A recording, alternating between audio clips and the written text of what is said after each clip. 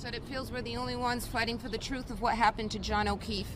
And me and my family and my attorneys and my team have marshaled every resource to get to the truth. It just feels like no one else wants it.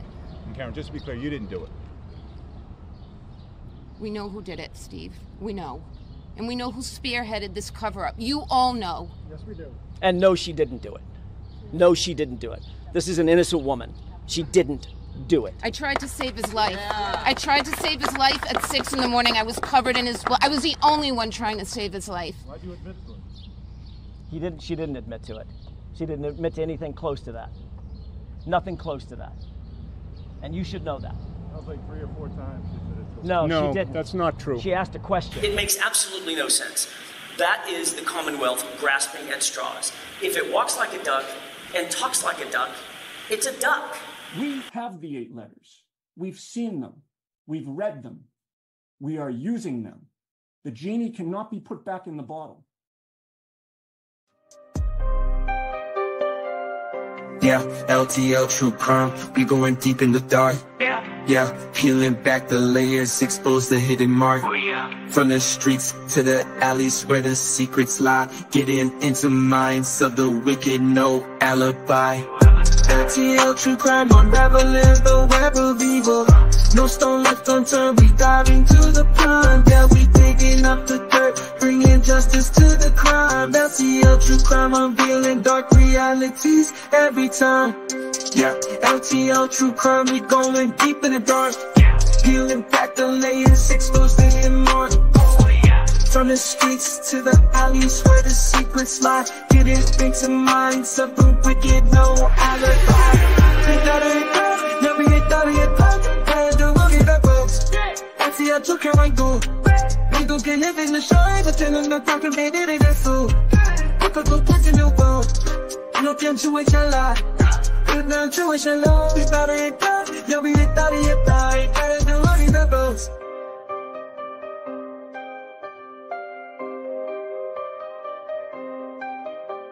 I break down true crime. I'm done with dark realities every time. Uh, this is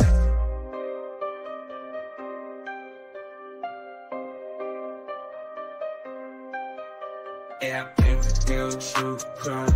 I'm done with dark realities every time. Yeah, LTL true crime. We going deep in the dark. Yeah,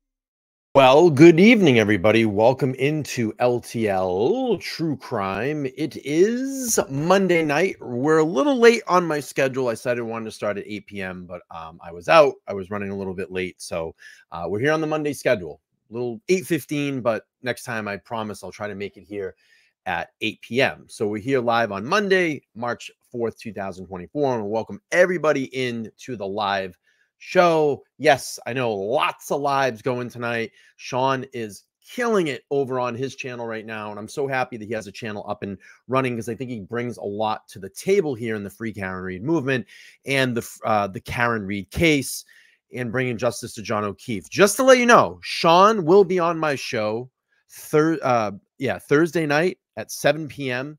Uh, we're gonna do probably about two hours here. So uh, we're going to have a great show lined up there. I actually just spoke to him today uh, for the first time via phone. We've we've messaged a lot uh, through email and stuff and text message a few times, but I actually had full conversation today, which was awesome.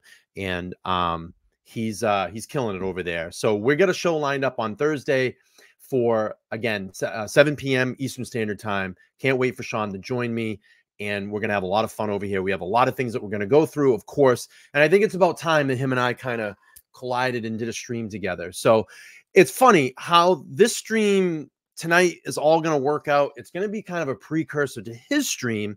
And I found that out uh, in conversation today. So I want to give some context to what happened here. So early on Sunday, a viewer reached out to me and sent me a link to a podcast. And the podcast is called the Outlier Podcast. And the young lady's name that runs that is uh, Laura Conlin. And she does post in Justice Group. So I got this uh, link and I looked at it and was like, wow, body language expert. I was like, Janine Driver. Wow, I got to really listen to this. So started to listen to it, sat down, started taking notes. And I said, wow, this would be really fantastic to bring up on the on my show to play it and review it and go over it. And so before I did that, I reached out to Laura on uh, Twitter, just private messenger. She got right back to me. We had a full conversation about Karen Read and the Karen Read trial uh, and all the hearings that have been going on. Of course, all the craziness that's gone on. And I asked her, I said, Hey, do you mind if I play your episode uh, on my channel? I want to go over, it, review it and um, react to it. And she said, No, it's no problem. I said, I'll give you tons of credit. I'll drop your link at the end. I'll leave it down in my description. She said, No problem at all. And also, I gave her a formal uh, invitation to join the show if she ever wants to come on and talk. So I said, Gee, if it was so easy to talk to, to Lauren, I wonder if I can get in touch with Janine. So I reached out to Janine. I dropped her an email on Sunday and she got back to me right away. And I was like, Hey, I heard you on the Outlier podcast. I heard that you did a segment of the Karen Read case. I would love for you to come over here and do a segment on my channel. Let's do this. I'll compile a bunch of videos. We can go through it on, on the live and walk through it and you can, you know, give us your opinion about body language. She said, "Oh, it sounds like a fantastic idea." So I set the schedule.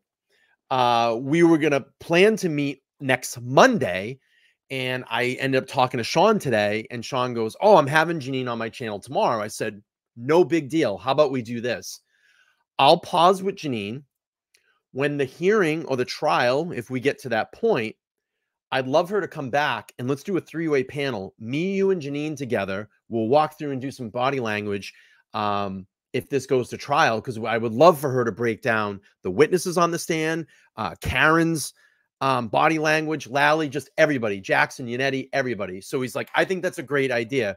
So he's going to speak to Janine tomorrow night, uh, pre his show, talk to her about that certain scenario if this does go to trial, and we'll end up working that out. So uh, kudos to Sean. That's awesome that you got her over there, uh, Janine over there. And uh, I look forward to having a conversation down the road with her.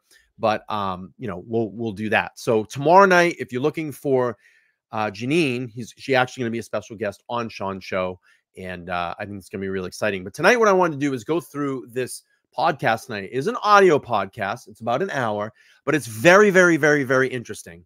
And I think that um, you're going to find a lot of value in this because the cool thing about this, it's going to be a precursor to Sean's show tomorrow. So this actually lined up perfectly. And Sean was like, I said, Sean, at the end of my stream, I'm going to send everybody over. I'll send the link to your stream tomorrow. You're going to have Janine there. People are going to be able to see Janine and get a natural reaction uh, from her. So this is a great precursor to that. I'm super excited um, for Sean's show tomorrow. And like I said, we'll do this. And I want to thank Laura, uh, Lauren, for allowing me to do this uh, on on my podcast here today and uh, and play through this. It was very sweet. She said she didn't have a problem, and I said I'll promote you. I'll drop your link, and anytime. So Lauren, if you're watching, you want to come on LTL True Crime, I'd love to have you here because you've done an amazing job, and you've had great guests on your podcast. Uh, so far, what I've seen is probably five or six episodes on Karen Read's case, and you're doing a great job.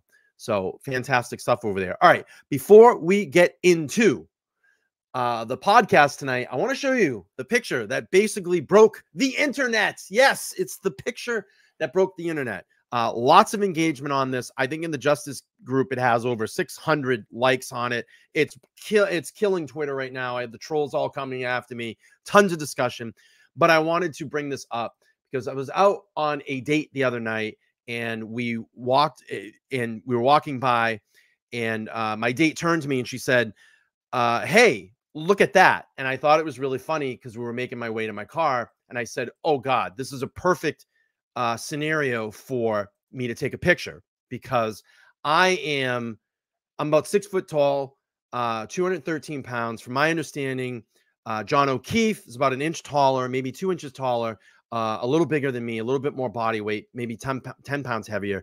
But my purpose of all this, and of course, I had a troll that was coming at me that I suppose was posting this because I want all these ladies come at me. No, that's not the point, moron. The point is, I wanted to show a perspective as to how my body would line up to a Lexus, uh, a Lexus 5 LX 570.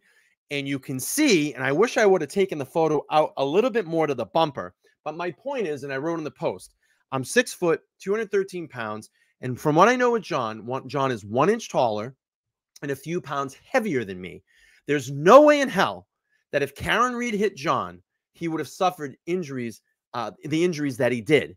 There would have been some sort of upper body injury to his chest, ribs, or sternum. So I said thoughts. Then I went back and edited it a little while. I said, this is the same model Lexus that Karen Read owns, just obviously different color. So if you look, the bumper would have hit I hit first. That is the most protruding piece, uh, back piece of that vehicle. I mean, you can clearly see it up next to my body. Uh, the bumper would have hit the lower leg, uh, and there would have been, even if it just hit up in the chest area, there would have been an arm, an arm, uh, arm bruising, or a chest, or it would have been soft tissue injuries. And all we have, obviously, are dog bites on John's arm. So um, I wanted to give it some scale. Again, it's a little bit different when you're there in person, you're actually seeing it. But this is something that I want to go over with Sean on Thursday, and I think it'll be great for him to. Uh, I think it would be great for him to um, go through this with me, and I'll just draw some arrows, and we can talk a little bit more in depth about this. But I love the engagement on this. Even on the LTL page, it had about 178 uh, likes on it. Thank you so much for doing that. And then all the engagement uh, on the Justice page because it literally blew up. And on Twitter, the trolls are having a field day with this. So I did my job. And this is what I wanted to to point out is uh, those injuries just don't they don't add up, and it wouldn't. It just doesn't make sense. So this is definitely something I'm going to bring up with Sean on uh, Thursday. So again, I thought it was great. I said it was a great opportunity. I'm I'm a person about fate you know, things happen for a reason. It put us there in that moment, at that absolute moment. So uh, we want to take the photo and, and go through it. no bashing the photographer. Yes, no bashing the photographer. All right. Um, okay. So let's go through this podcast. And let me cue this up. Oh, I cannot wait to play this. This is so great. Okay, from again, this is from the Outlier podcast. Please go over to and subscribe. I'm going to drop the link to this specific episode inside the chat if you want to go over and subscribe there and um, uh, give Lauren a uh, subscribe or just check out her uh, podcast. Let's get some reviews on it, some likes on it. And, and Lauren, if you're watching, I appreciate you allowing me to go through this because this is a great warm up and pre uh, precursor to Sean's um, live tomorrow. All right, here we go. Let's play through this. With a bonus episode regarding the Karen Read case and the tragic killing of John O'Keefe.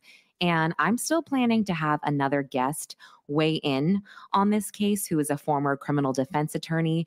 And when I have him on next week, we will get back into the documents and I will start asking him more specific questions about the actual evidence. But today you're in for a treat.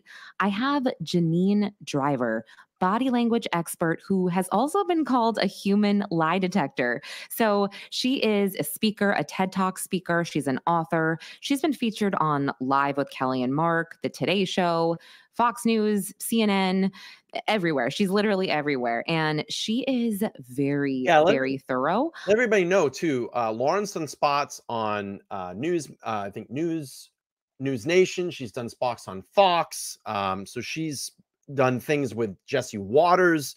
So she's um she's really great. Very good independent journalist. All right, let's. I gave her a bunch of clips and Very I, nice. I thought she wasn't super very nice. familiar with the case, but it turns out she is a bit familiar. So just keep that in mind. And she calls me out. She's like, You said that I wasn't familiar at all. And I actually am a bit familiar. And she's actually from Massachusetts as well. And she says something at the beginning of our interview that was so crazy, something that Bill Burr Whoa. said years ago or decades ago about the Canton police because he's from Canton. I guess it's like a known thing that they're just a little bit shady. Uh, but yeah, you'll you'll hear her her mention that. It's pretty interesting. But anyway, I gave Janine the same clips that I gave to uh, Jesus Enrique Rosas, the other body language expert I used. So it was the Nightline clip.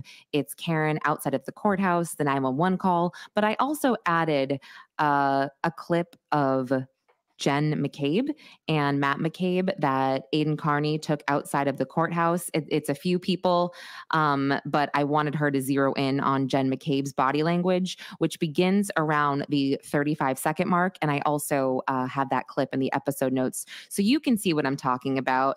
And I'm not going to play it here because Jen doesn't actually speak. It's Aidan uh, just kind of asking them questions as they're walking out of the courthouse.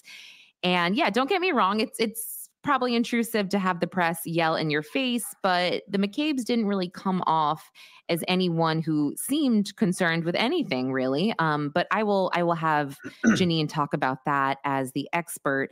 And I also just sent her a bunch of clips of Karen in court. And what she does is she kind of tells me, like, you can't really hone in on one thing that she does. You have to look at the big picture. And she's just really helpful when it comes to that. And, and this is this is really helpful information for your everyday life as well. And before I get into the interview with Janine, I want to just correct something I said on the last episode pertaining to So I want to make sure that people understand this. Janine uh, doesn't really follow this case in depth. She was just asked, you know, she knows a little bit about it. She does get a few things wrong. So let's give Janine some credit. She does many, many talk uh, conversations across uh, the country. So she's very busy. And I thought it was very sweet when she said, Sure, I'll come on the, the show. But knowing Sean's going to have her tomorrow night, it's kind of silly to have her next week. But I said, Let's do this. Let's work out something. Maybe she can come back, me, Sean, and Janine together, and we can do uh, a great episode. But um, she does get a few things wrong, which is fine. I mean, there's a lot of details in these cases. It's not the only case that she probably breaks down. People probably ask her all the time to break things down. You know, her expertise is body language. That's why she's here to read someone's overall demeanor, their body language, the way they act, the way they walk, the way they talk, and give her expert opinion. So let's please keep that in mind. All right, let's keep playing through here. With this case. I stated that no officers entered the house at 34 Fairview. Well, one police officer actually did enter the house. I just didn't think they treated it like a crime scene. Uh, so I just wanted to correct myself. And yeah, sure, maybe they didn't have to treat it like a crime scene at the time because the death was outside, but I still, it, That I don't agree. And and again, you know, I think that it, it absolutely one thousand percent should have been uh uh treated as a crime scene right away. There should have been crime scene tape. And these are a lot of things that me and Sean are going to talk about on Thursday as well, too. Um absolutely should have been a crime scene immediately. I mean, you have a boss, you have a Boston dead Boston police officer in the front lawn. Know, it doesn't sit right with me. But anyway, let's just play my interview with Janine and keep in mind great. she is an Very expert nice. on human behavior. And something right I away. did not mention um, was that she also is former law enforcement and she's a former ATF agent. I should have probably said that earlier, but yes, that's really helpful to know going into this. Right off the bat, let's just talk about Karen Read in the courtroom with her attorneys. I Hey, mean, Paul, the last Good to see hearing, there was a lot of laughing um, that was going on. There was some smiling. Uh, I thought I saw at one point her mouth the word liar to her lawyers talking about somebody. I mean, it was kind of funny. Uh, but just what what are your thoughts just right off the bat? Well, first of all, I follow the case a little bit. It's not like I'm Oh, just thank coming in and not knowing who she is. Uh, Right. I am from Boston. uh, Well, Waltham, Mass, northwest of Boston. And sidebar, Canton police are kind of, you know, there's a reputation out there. There's a stand-up comedian from Boston named Bill Burr. He's from Canton and he's made jokes about how crooked the police are decades ago. decades ago, way before this case. Go get the Bill Burr joke about what it's like being in Canton and what's up with the Canton police. So let's go there a little bit. But what I do is, even if you're not a body language expert, I think it's hysterical that the that it's divided. By the Mhm. way, I retired from law enforcement, ATF. I spent 18 years with ATF. I trained I trained the Massachusetts Police Department last year under a big huge grant. So I work in law enforcement. And the fact that people are divided is shocking to me because if you just simply watch I mean, forget about looking at the evidence for the love of God. I mean, if you just look at every single scratch and bruise on on Kevin O'Keefe, there's a silent John, testimony. yeah. I mean, So again, you know, let's give Janine some slack. Like I said, she doesn't follow this case, you know, in depth. She's probably asked to analyze a million cases and a million, you know, body language. So, uh, you know, it, it- listen, all we want is her expertise. And again, this is going to be a great warm up for Sean's uh, live interview with Janine tomorrow. Um, it just was weird how this all worked out. Again, if you're just coming in, I was supposed to have Janine on next Monday, but I had a conversation with Sean on the golf today. Ooh, my voice! Oh, my voice cracked. I had a I had a uh, conversation with Sean uh, on the golf today, and he said, "Hey, I'm having Janine tomorrow." I said, "Oh no, I'm supposed to have her next Monday." But I had the stream planned anyway for a warm up for next week. But that's cool. Sean and I are going to get together on Thursday, and then we're going to have Janine again uh, at some point down the future if this goes to trial, because I think it'd be great to analyze a lot of the witness testimony, the body language, Karen, Lally, everybody in the courtroom, Jackson, Yannetti, Little. I think it'd be really great. So we'll keep playing through this. I think you're going to still find a lot of value in this. All right, let's go. John, John, Yeah. yes. See, I don't know all the details. No, no, it's okay. It's Sure. okay. it is proof. But if you look at all the all the the the scratches on John, you can see there's this silent testimony, you know, waiting to be heard that indicates Karen Read is might be likely telling the truth. Now, for me, I'm not super into all the nitty gritty because I'm not a lawyer. I'm not making case. I'm looking at the nonverbals and I'm listening to word choices. And I think if you turn off the camera and you don't, I mean, not turn off the microphone and you only A, look at the evidence, B, look at even Karen Read in court before the, the kind of laughing and some of the levity. But if you look at her throughout the whole entire case, this is the problem. You can't, it's hard to pull out one scene and think you know everything. I remember on American Idol, there was this one part, and I, I do this in my corporate class. Okay, I'm going to explain this really clearly again. Okay. So what happened was, and if you missed the beginning of the show, um, on Sunday, someone passed me this podcast. Uh, Lori is a, a viewer of the show. She said, "Hey, I thought you would find this very interesting because you've been talking about a body language expert." I said, "This is great. I think this would be great to go through." So Sunday, what I did was I reached out to uh, Lauren. She is the host of this podcast. is her independent podcast. Got her on Twitter, and I said, "Hey, you have a fantastic episode. You've been following the Karen Read case very closely. You have a lot of great guests. Listen, I'm looking to do a body language expert. I'd love to hear an expertise on that." I said, "Do you mind if I play your podcast?" She said, "I have no problem with it." I said, "Great. If you ever want to come on the show, let me know. I'd love to have you over here and you know talk Karen Read." She said, "Great." So I, in my mind, had said, "Well, why don't I just reach out to Janine myself?" Wrote her an email on Sunday. She literally got right back to me. I said, Janine, I'd love to have you come on the show and let's do some live visual videos. I think it'd be really great if you could break them down live for the uh, for the audience. She said, Great idea. I have XXX date open. I'm not free those days. So I said, Why don't we do next Monday, meaning the following week, next Monday? Well, uh, what I found out today, I talked to Sean because we were prepping for our show together on Thursday. He's going to come over on my channel on Thursday. And we started talking about body language. And he said, Oh, I'm having a body language expert on Tuesday, meaning tomorrow. Well, who is it? It's Janine Driver. I went, Oh, no, I'm supposed to have her on my show the following Monday. And I said, No problem. I said, Because I was going to use this as a, a pre warm up. So if you're going to watch Sean tomorrow, this is going to be great for you. You're going to want to listen to the rest of this. But I said, why don't we do this? I'll pre warm it up for you. I'll send everybody, I'll drop the link to your stream tomorrow. So Janine's going to be with Sean tomorrow. And I said, down the road, how about the three of us get together and we'll do a stream together and talk about this? I said, I think that's a great idea. So it all worked out. I'm happy. He's happy. And I'm sure Janine's going to be happy. All right, let's play through. classes, I show J Lo. J Lo is like horrified. She's shaking her head. She looks pissed off to the tenth power. She's watching some singer. She looks pissed. No problem. And if you just took those 20 seconds, you would think J Lo was pissed at the singer. But Mhm. what you find out 30 seconds later is J Lo runs to the stage and she hugs the performer and she said, I've never heard someone sing this song any better than the original performer. This was unbelievable. I had goosebumps. But if you look at just that tiny piece, then it looks like Right. she's angry. So Okay. you are you want to, if you're reading body language, look at the whole entire big picture. So with that being done, ideally we want to get a baseline of someone, and it's hard to do in these situations because you may not know, you know, uh, Karen Read or or John and their scenario and all their friends and all the people involved. But let's talk about Karen Read.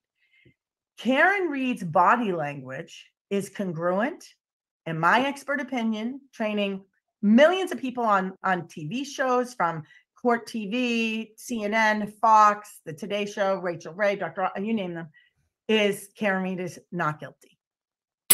And here's why. If you look at Karen Read's body language, it is a couple things. Number one, it's congruent. When she she is upset about something, her body language is saying she's upset. It's okay if she, for- by the way, we smile and we laugh. I say he he he H E E he he he when we're happy, when we're embarrassed, and when we are evil, we want to get away with something. There was a murderer, he killed his uh, wife and young daughter in Massachusetts, ironically, years ago. And he was laughing in court when they put the baby's onesie in front of the court. It was horrifying. It was horrifying. And Oh that was that was pure evil. Neil Entwistle was his name. So if you look at if you look at Karen Read and you get a, a, an opportunity to hear what's being said in the courtroom and then look at her at the same time, her Mhm. body language is congruent with someone who's telling the truth. I want to I'm going to give you a big one that you see a lot with Karen Read. Right out of the gate, we we see it anytime evidence is being, you know, tried to be put against her, which is it- it- to me it, this is Now, again, you got to keep in mind there's nothing in this for Janine. She could have analyzed this, came back to Lauren and said, Karen Read is 1000% guilty, and this is why. In my expert opinion, this is why. All Lauren did was send some videos to her and said, "Can you analyze these and let's have you on the show and give you your and give you your expert thoughts." So keep that in mind. This is not like, you know, hey, can you just? Uh, uh, uh," She's giving her expert opinion. She's giving her expert opinion. it's going to be a big movie for by the way, I think. Yeah. Right. Really, it's unbelievable. I mean, Mhm. Agreed. how does the guy get two black eyes and, and a bunch of scratch marks all over his eye? I mean, just turn off the sound and look at what's in front of your face, Mhm. and you already know Karen Read is innocent. Mhm. So here's the deal Karen Read does this thing like this. I don't know if you're going to use the clip of me or not, but yeah. I'm pushing like you're blowing a kiss to someone. Yes. People listening, Mm. she's doing a kissy face, like a Yeah. yeah. kind of doing Okay. this kissy face if you're listening, where you pucker your lips. I like to say you can't unsee, unhear, unexperience what we're talking about, Lauren. So you at home who are listening, or if you happen to be able to see this video, um, do what we're, what I'm talking to you about. Because when you do it and you see it in someone else, you'll be like, oh, that body language chick. Okay, Sean is going to have Janine Driver on her on on her on his channel tomorrow. Okay, I'm going to have Sean on my channel on Thursday at 7 p.m. So Sean will be here Thursday, 7 p.m. Janine will be on Sean's channel tomorrow. I had it lined up to have Janine next Monday. Sean and I didn't know. Sean and I had no idea until we talked today. And I said, we were talking about body language, and he said, I'm having a body language expert tomorrow. So who you having? Janine Driver. I went, holy shit. Said, I'm supposed to have her next Monday. So I said, why don't we do this? I was planning to do this stream anyway. I'll warm everybody up so everybody can get a sense of who Janine is. And then tomorrow you have a live. And then maybe down the road, all three of us can get together and we'll have a live together. He said, I think it sounds great. So, um, and I'm going to drop Sean's link to Janine's stream tomorrow. I'll drop that at the end of this stream. So you guys can all click on that, set up your reminders. All right, let's get through through this. We got a little while to go here. I get why that means this because I do that move when this is happening. So if Mhm. you pucker your lips, now sometimes we do that to be cute in a selfie. we saw Kobe Bryant. Kobe Bryant, the great, you know, deceased basketball player. Kobe Bryant would do this on the court all the time. What does it mean when someone is naturally doing it, which we see Karen Read do throughout this trial? Anytime someone is trying to contradict what they what her attorney is representing, or someone's trying to say that she she did it. This pursing of the lips that comes out and this lip kissy thing is mm. I disagree with something, or I'm thinking of Thank an you. I appreciate that. So Thank let's go back to Kobe Bryant really quick. If you imagine Kobe Bryant running back and forth up the basketball, um, uh, up the basketball court, and they he missed a ball, or someone missed a ball, or a bad pass was made, you would Mhm. see Kobe Bryant do that with the lips out, that pouty lips. This is I either disagree with what just happened. It shouldn't have Yeah. happened this way. It should have went a different way. There's no reason we should have got. We shouldn't have sunk that back. let's do this. I'm gonna dr- I'm gonna drop Sean's link at the end of the stream. Let's get through my stream. Okay, just let's do that. Don't worry. I'm gonna give you Sean's link at the end. Let's get through this stream. Okay, we'll get through the stream. I will drop Sean's link at the end. Ask it right there. Yeah. If you're in a meeting and you see someone doing this, or Sure, on a I can show you they're thinking what she's talking about. And this is what I always say about the media when they try to paint her in this negative light uh, with the the faces that they like to capture her uh, having. And let me give you an instant. Um, so a face. This is what she's talking about. Let me get into the. Let me see. This face here. This. With the lips out, being very engaged, thinking, probably saying lots of bullshit here, they're saying. That's basically what they're talking about.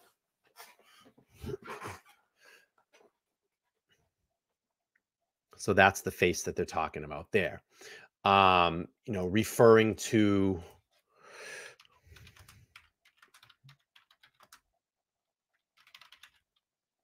let's see.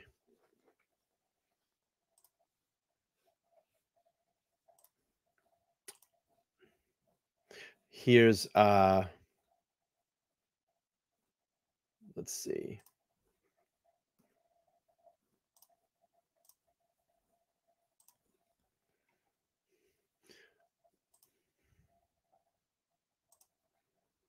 Hang on a second. Hang on. I want to show you the Kobe Bryant face she was talking about.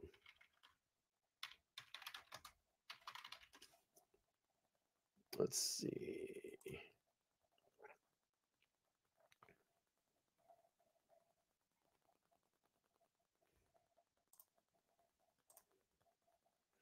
Kobe was always known to do this. I always remember that face, you know, with the lip sticking out like this. That lip, that bottom lip. That's what she was talking about. All right, let's go back to Janine. Here we go. Of an alternative. They're thinking, "Mm, you don't really look like your picture. Sorry, that's Yeah. actually really funny. Sorry. You know, you you you met someone on Hinge or Match or whatever, Bumble, and the person's sitting there and they're doing that pursing lips like they're blowing you a kiss. They're literally thinking, uh, there's I could be out with anyone other than you. wow. They're disagreeing with something like, and they're just being polite, they're not calling you out on the fact yeah, yeah. You use your pic- well, you damn right. Oh well, no, you used pictures from 2019. You lost 100 pounds, but during COVID, you gained 100. Okay, sister. Right, right. But- okay, this is really interesting. Oh, So good. Gosh, I'm gonna be does this yeah. quite a bit, and I even took some pictures, Lauren, for Okay. you. And again, I don't know, and I, I'm more than happy to send this to you if you want. Um, but this this is her Oh, doing this, yes. this this little pouty of the lip. Her head is also down, and she's looking up, kind of like in in Trump's big photo Yeah, yeah. that he did is his uh, arrest mugshot. Here we see Karen Read doing it again. So Yep. these lips coming out, disagreeing with something or thinking of alternative. When does she do it? She's not doing it when her lawyer is saying, here's what I think happened. She's not doing it when they're asking the judge, can you please let in the cell phone records about how someone Googled how long it takes to uh, a body to die the cold? Sh- When is she doing it? When the judge says, no, I'm not allowing it in. Ah, Thanks. Not when they're presenting their thoughts or their theory of what happened and how the whole thing is a setup. And Mhm. so it's congruent with what's happening in the courthouse, in the courtroom, uh, with someone who's telling the truth. One more big thing, and then I'll answer any questions you have. But in, I'm just going to address this really quick. So, Anne says, Brian, you have a strong independent podcast. Your opinion is valuable without linking to other podcasts. I enjoy your unique style. Please don't stress over linking up with others. Keep it strong. And listen, I, I appreciate that comment. It's very, very sweet. Um, you know, I just try to do my best here to try to help out the community. Like, I get it. Um, there's multiple streams that run on multiple nights now. You know, something here that I am not you know, kind of predicating my channel around. As much as I care about Karen and I care about her case and and care about uh, you know, justice for John O'Keefe, I don't predicate my channel around it. There are many other interests on this channel, and that might not interest the the crowd that comes in for these specific streams. It's it's not any. I'm not trying to be a jerk about it or anything, but there are many interests that I I have on this channel, and I appreciate that. Um, you know, there are other things that I will do, but what I try to do is keep the community together. The people that I respect and the people that show me respect in return, I will help them out. Like I said, it was an easy conversation today when I was talking to Sean. You know, it was a simple mix up. He had no idea that I was going to have Janine next Monday. I had no idea he's going to have Janine on tomorrow. And I said, why don't we compromise? I'll do this tonight. You have Janine tomorrow, which I think is great. And then maybe down the road, we can all work together. That's what I've been trying to do here with all of the streamers to try to build a, a one all community. Um, you know, have uh the respect to go on other channels you know share other links get other people other information out there give them other perspectives to other creators. I, I don't have a problem doing that but i give it back to people that show me respect. If you're a creator that shows me respect i'm going to do the same thing for you you know and that's how it should work. My channel is very different my channel is very very different than uh, some of the other channels that follow this case. And I think that when you come here, you have an extremely different perspective of how I present things here. I like to be very factual. I like to be very visual. I probably won't get into a lot of the side stuff that maybe people really like to get into, but I like to just dive into the facts. I want to know what makes people tick and what put them in those particular situations at those times. And does the evidence add up? Can we look at it in a broader spectrum? spectrum. That's what you're going to get with me. Uh, I'm not going to really do drama stuff. I'm not going to do uh, just stuff like that. It's just not who I am. You know, it's not who I am. I have a clear, grander vision for what I can do with LTL. And yeah, of course, we have fun and we address things here. And um, but I, I take this case very serious. And um, it, it's just it's a huge injustice of what's going on here in Massachusetts. And I and I always reference back um, when I have conversations with Paul Christopher. He always says, you know, this could be you, this could be your daughter, this could be your son, um, and it's true. It or it could be any of us. It could be any of us. So again, you know, um, that's what I do. I just try to help people out, you know, and I want to build a, a a a community of people that rally around this and you know um listen I, I get my share of shit. People don't like me. That's perfectly fine. You don't have to like me. You don't have to watch. Uh, i get it too just like everybody else but we're going to move on. We're not going to let anybody beat down our channel and we're going to keep this community rolling. And you know uh, you might not watch me directly live you might check it on replay which is great. That's what i want people to do. That's why i do these streams. So anyway i digress. Let's get back to the most important thing. Uh, we're going to get back to janine driver talking about some of the body language in the karen read uh, case. All right here we go. Yeah. overview here for Yeah. the people at home is, and this is so interesting because I, I was just saying this yesterday to a friend of mine about this movement. I When we that. are authentic, thanks by the way, authenticity, thank you 40,000 times stronger than love. Scientifically proven. So emotions emit energy. Okay. Authenticity is 40,000 times stronger than love. Now, people who don't like Karen Read, she's a mm. Boston girl. She talks fast. She's a straight shooter. Walks fast She might be laughing in court, but she is authentic across the board. She Mm. also is coming right out. By the way, liars don't say, liars do not say, I didn't kill him. I didn't kill him. I didn't do it. I'm being set up. They would say, liars would say, I didn't hurt him. I didn't purposely hurt him. I didn't cause harm to him. This is what they'll do is they dumb down the crime. A man Mm. is being charged with rape. He doesn't, if he raped her, he doesn't say I didn't rape her. He says, I didn't force myself on her. I Mm. didn't hurt her. So to for someone to make a strong claim that I didn't do this, if you go back to Johnny Depp, Johnny Depp in the courtroom, we have Johnny Depp versus Amber Heard. Amber Heard's found to be a liar. Again, the way Amber Heard was lying is the way that we're seeing the Massachusetts police in Canton involved with this case lying. It is obvious to someone who's trained in this world. It's bad lying, it's bad acting. And we heard who? Johnny Depp say flat out, I didn't do this. All right. I didn't do that to Amber Heard. I didn't I didn't put this bottle inside in of her. house. I didn't do, and Mhm. flat out own it. And that's what we're looking for. Now, the the point I wanted to make on body language with Karen Read is authentic people, authenticity 40 40,000 times stronger than love. Wow. Karen Read, you may not like her personality, you may not like Boston people, right? We're we're big, we're loudmouths, we're sarcastic, we're we're, Yeah. we're straight shooters. Yeah. like, we just we call a spade a spade. Yep. Karen Read, how do we know when someone is authentic? You know by how they move their body. It's called integrated movement, PGM, posture, gesture, movements. Mm. The posture and the gestures move at the same time. So as I'm talking and as you're listening, Lauren, Yeah. you nod your head yes, but your shoulders are also moving. I see your hand moving. I can even see your upper part of your chest moving while you're just nodding Yeah. says to me you're an authentic person. Oh. We see um, Kevin Spacey. Kevin Spacey was charged with, you know, having sex with minors. Yeah. And I I was once behind him in a movie theater with Kevin Spacey. And I was like, oh, it was this big albino alligator, this really terrible movie. I didn't like it. Okay. And directly behind Kevin Spacey. I'm like, oh shit, that's Kevin Spacey. And I'm like, my friends, they're I was in my 20s. My friends were smoking hot. And I'm like, oh, maybe they'll invite us to like some after party or whatever, like smile. Your girlfriends, your you mean? My girlfriends. Okay, yeah, my all right, yeah. friends, right? I worked for Yeah. ATF at the time at the World Yeah, Trade yeah. Center. You're Oh. about firearms. And so oh. my two, they're special agents, right? They're smoking hot. And I'm like, oh, maybe we'll get invited. Two rows behind us are young teenagers, 15, 16, 17. When the movie was over, Kevin Spacey whispered something to his like manager's thing ear, got up, went two rows behind us, whispered to those kids, young boys, years earlier.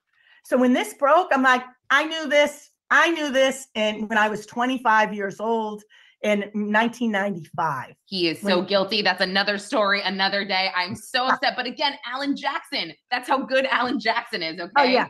I mean, this- right? Oh yeah. Well, this is why I wanted to bring up him, Kevin Spacey.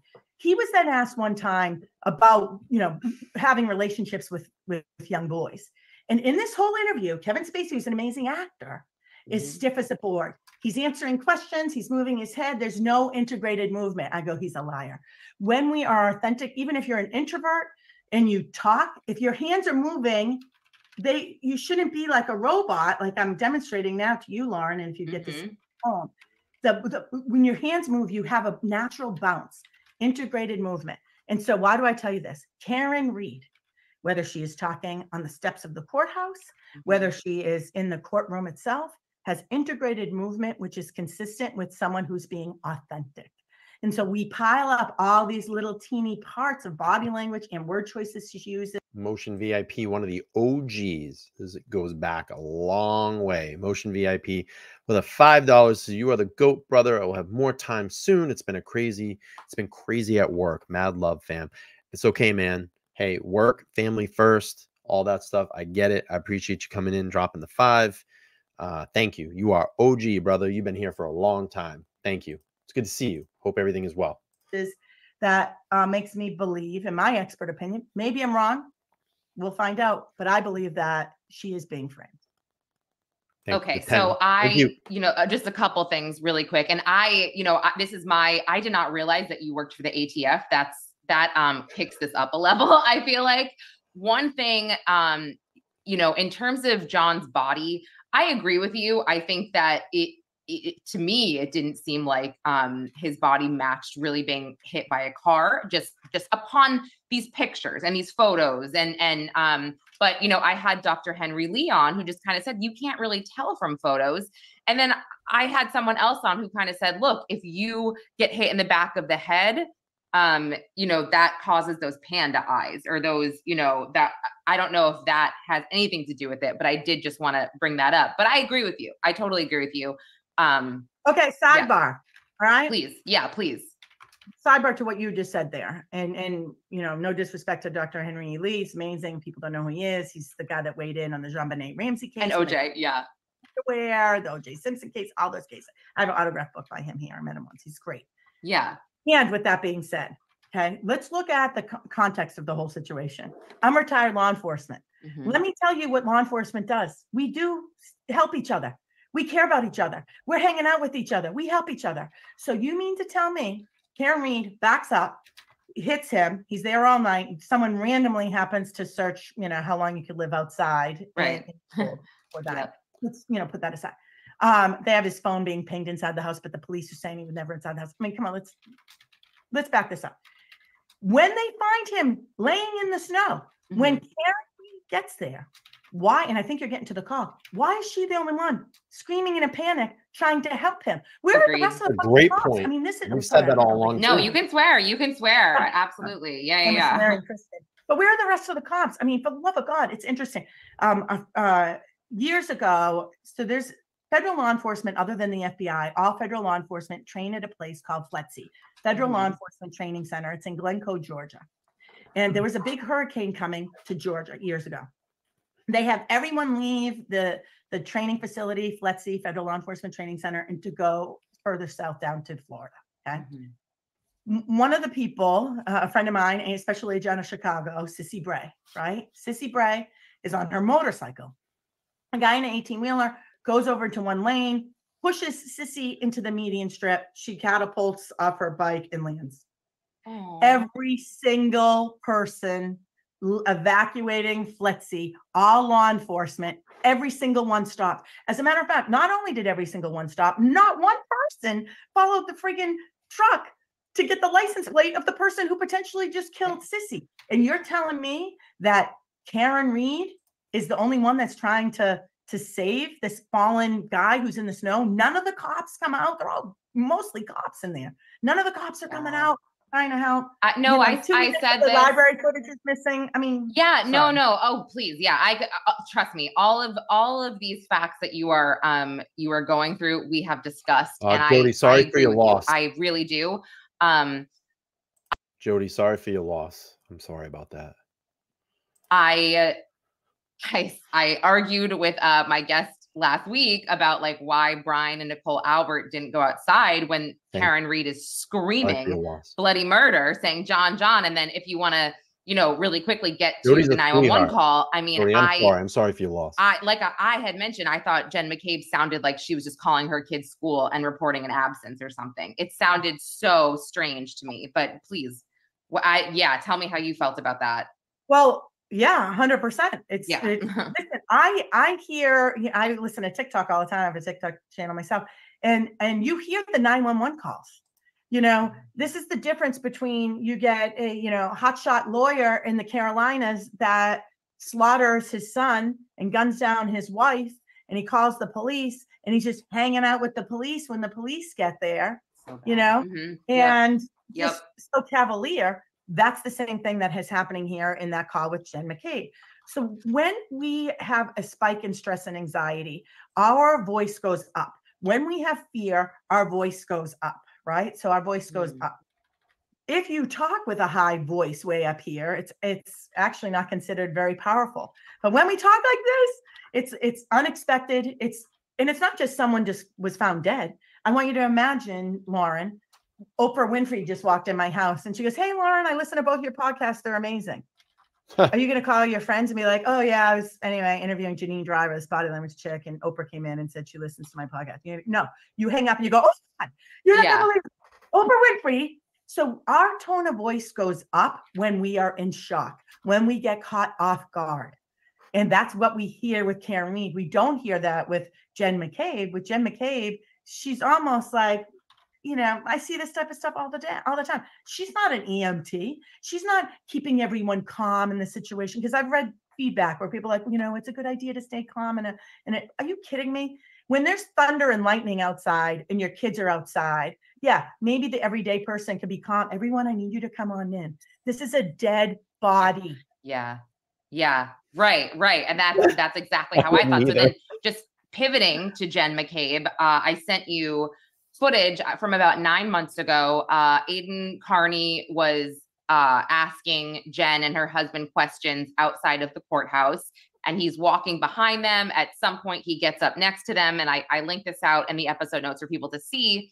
Um, her her demeanor, her and her husband's demeanor, I felt like she didn't really care. Uh, she kind of crossed her arms a little bit. She kind of rolled her eyes. Um, but and, and you know, he he makes a, a comment about what they're wearing and their appearance as well, which was like also interesting that they were wearing kind of like frayed jeans and flip flops to the courthouse. And that's another thing that I'm a little confused about why you would not show any type of respect. This is a really good point. I have to say, Lauren, really, this is really good. She honed on to something here, and I was like, oh, that's a really good point. And uh, let's let's back up 15 seconds and, and kind of hear what she says here. This was really, really good. And I never even thought of this.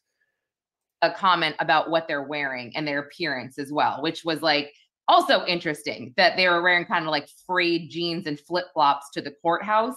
And that's another thing that I'm a little confused about why you would not show any type of respect, respect, I guess. And and you know, sure, maybe it's uh, again, I'm from New Hampshire. I know we wear hoodies a lot and whatever, but it is it is court. Um, so that whole exchange in general was just a, a little bit bizarre to me. Listen, this happens all the time. When people feel that they are safe, that someone has their back, they become smug. Mm. They become smug. Mm-hmm. And we see this often with someone who well we saw this with the kavanaugh case where he gunned down his his son and, and his wife you know mm-hmm. you see this like smugness you you even saw it when he was getting going to get sentencing in the courtroom this smugness like he came from a big lineage big families fathers father father lawyers they run the yeah. carolinas you know they have all this money and so if in fact you are connected to law enforcement in massachusetts and if in fact you have maybe even you know lawyers maybe even judges who knows? Mm-hmm. this is and and when i was in atf you know atf is was charged with um the whole waco texas. Remember waco yeah texas? and then when they see the supporters in the in the the uh, parking lot jody they they instigate and wave and smile at us and smirk. Remember? Remember when we were out there? They were waving on the in the last karen hearing Texas. Yeah, of course. Waco, Texas happened. David Koresh. ATF had a, mm-hmm. I was not part of that. I was new on with ATF. I was in New York City at the World Trade Center. But ATF had a search warrant mm-hmm. because mm-hmm. David Koresh had uh, armor piercing ammunition and machine guns that weren't registered. So they had a search warrant. They had practiced over and over. They rebuilt this whole entire compound and practice mm-hmm. and practice. Right. And I'm not here to debate what ATF did right or wrong, but what I want to okay. tell you. They yeah. waved at me. Remember? Yeah. They were what waving I want to say is this a couple people that were in charge of giving the green light to go in lied ultimately to Janet Reno. Okay, so they lied to Janet Reno. The big question Janet Reno had at that time was do we still have the element of surprise? Do we still have the element of surprise? And these people, the head honchos that were running this operation, said, yes, we still have the element of surprise when they knew damn right well we no longer had the element of surprise. How do we know that? Because someone in ATF leaked the story to the media. No one really knew who ATF was. We were mm-hmm. trying to mm-hmm. get on the map. Someone leaked it. There's a huge news uh, news van with the big dish on top, driving, mm-hmm. trying for the Branch Davidians and David Koresh. They they see people on a bike. Excuse me, do you know where the Branch Davidians are in the compound? Yeah, they're up ahead.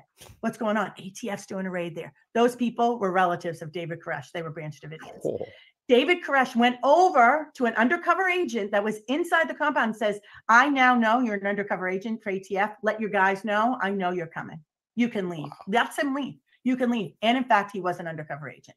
okay, what does this have to do with this this whole case with John O'Keefe? Okay. when we get a position of power, we can get smug, or we have a belief we have power. Casey Anthony, another Yeah. person thought she Mm. had power because she was pretty, right? In my opinion, got away with murder because she was pretty. Mhm. So if you have a position of power, I want to break out what happens when we lie or we get caught in Yeah. a difficult situation. A person who has a perception of power really has power. And by the way, you at home also have a position of power, and I'll explain how. And when you lie about this particular thing, you do the same thing that we're seeing Jen McCabe and what I think the, some of the key players in this um, situation, where I believe I do believe they're setting up uh, Karen Read. In a position of power, we focus on the rewards, not the consequences. The everyday liar focuses on what? The consequences. So they get nervous, they get dressed to impress, they may overcompensate uh, uh, and be, you know, get a haircut, you know, braid their hair a certain way because they're trying to Yeah. convince, right? Yeah. So they go overboard because they're so nervous. Person of power focuses on the rewards, not the consequences. Person of power has an increase in cognitive thinking, which means one one thing I tell you doesn't work, I come up with another one really quick, really quick. Oh yeah, we uh, what a week or two later, now all of a sudden they find the broken glass from the the headlight. Oh yeah, here's why. Person of power has you don't believe it, they'll come up with another answer. Increase in cognitive thinking. Everyday liar, decrease in cognitive thinking. Hmm. Person of power has an increase in positive emotions. So they can be in flip flops on the step of the top steps of the courthouse Yeah. you know, they can call 911 acting like, you know, laissez faire, like this isn't a big deal. There's no sense of panic. Why? Because they have a perceived belief they have a position of power. And the last thing is that they have a decrease in cortisol. So if you have a position of power, you have a family or family connection to law Mhm. enforcement, you think they have you back, you might have just like we have Kavanaugh, you in those moments increase in happiness, focus on the reward, not the consequences, decrease in cortisol, eh, cortisol and increase in cognitive thinking. When one answer doesn't work, you come up with another, right? We have these two scenarios. You Mhm. at home. So we see this with, with Jen McCabe. When you you at home, when you if you tell your kids, if your kids are around, put this podcast on pause. You Oh no, they're not around. no, they're at school. Don't worry. not Don't your worry. kids, the people listening. People listening. Sorry, I was like, wait, what? No, my If kids your are. kids happen to be, first of all, they shouldn't be listening to this. But if Okay. they, Yes, of course. Yeah. Yeah. No kids listening. tell your kids that there's a Santa Claus and an Easter Bunny, and your kids say to you, "Mom, we can't go to Graham and Poppy's because they don't have a fireplace. How is Santa going to get in? We can't go there for Christmas. How's Santa get in?" What do you do? You slap on a smile, increase in positive emotion, decrease in cortisol. You have an increase in cognitive thinking. You come up with some bullshit answer, and you go, "Oh, just like Santa, you know, um, makes the reindeers fly. We can throw, you know, he throws Right. magic seeds around Grandma and Poppy's house, and it'll float up in the air, and Santa comes underneath." Your kid doesn't buy it.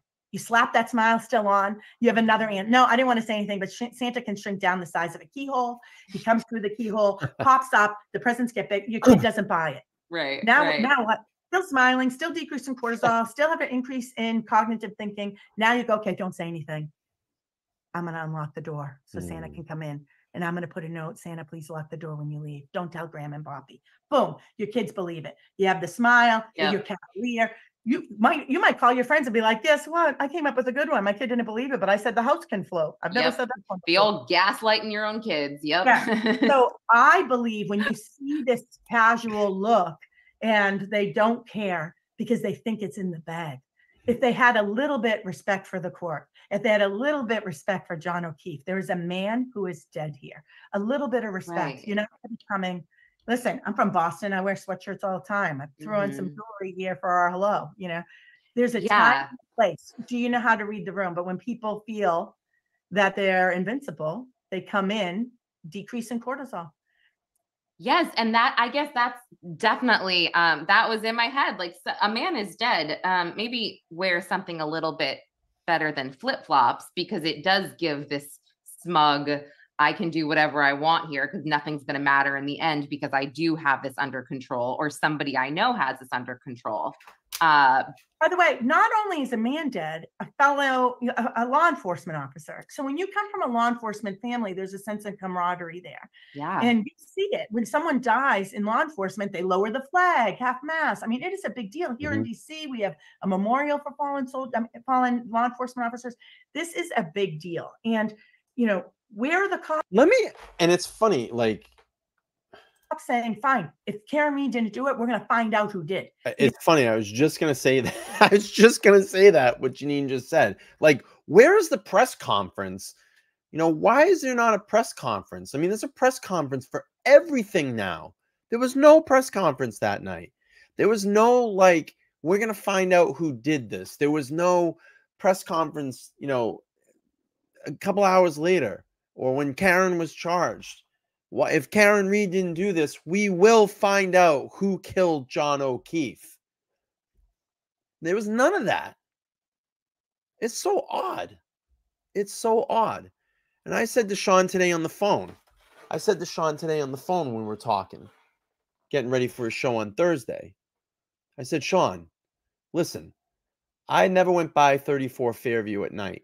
I took a ride by there about a couple weeks ago, three weeks ago. Took a ride by there. Never been by there at night. Been during the day a million times. I went by there at night. I have video, but I never posted it. I said, Tell me, Sean, if you ever looked at that house and you look at the basement floor, that little window, the little window that's down in the basement, I said, Sean, you're going to tell me they weren't down in that basement looking out the window? He said, You know they were. You know they were. I said they had to have been. It had been the perfect vantage point to what was going on on the outside to look and be under the cloak and the cover of darkness, to look out that window. I said, Sean, I'm telling you, I'm telling you, they were looking right out that window in the basement, watching everything. If someone did it.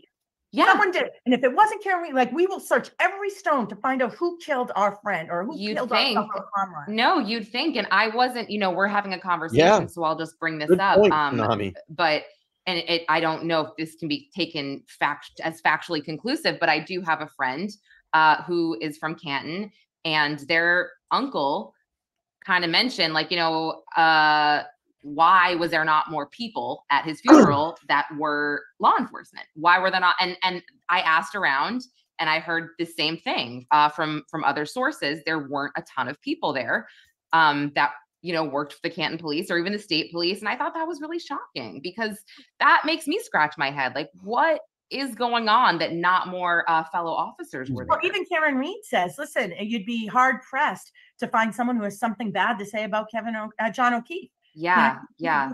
because he was a nice guy. You know, he was a nice guy. He seems And like it.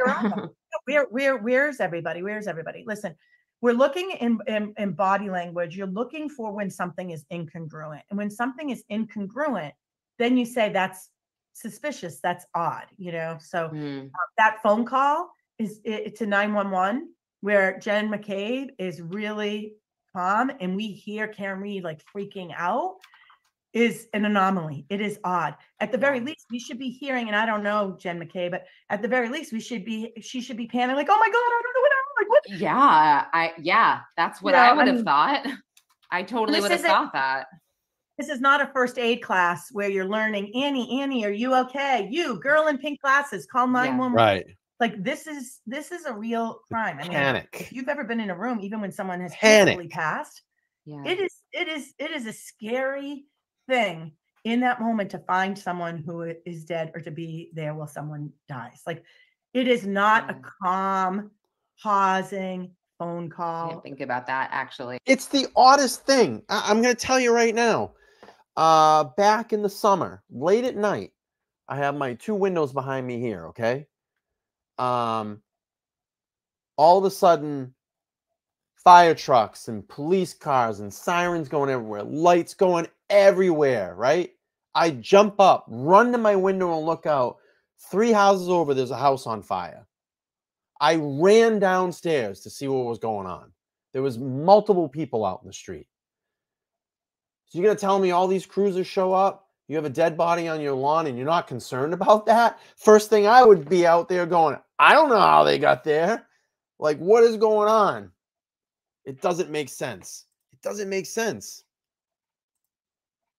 Okay, All right, Um, playing through. yeah, you're right. I can only imagine being in a room with when it's someone who peacefully left this earth. That it sounds absolutely terrifying. Um, well, the last thing I, I just want to bug you about, uh, it's the Nightline interview. I think it's our natural instinct. I think it's our human instinct. When we sense when we sense something is wrong, uh, I know with me, it's just my personality. I want to go to it to help. Uh, you know, I'm, you know, perfect example, the fire. I want to go out and see what is going on. I think it's our nat, even if it's not to help, it's just the natural instinct to go on. Wow, there's, you know, how often do you ever have fire trucks in your neighborhood? You know what I mean? So there's a fire truck in your neighborhood, you hear it, the sirens going off. I want to know what the hell's going on. I'm either going to look out the window and go, oh, geez, or I'm going to run downstairs and go, what the hell is going on?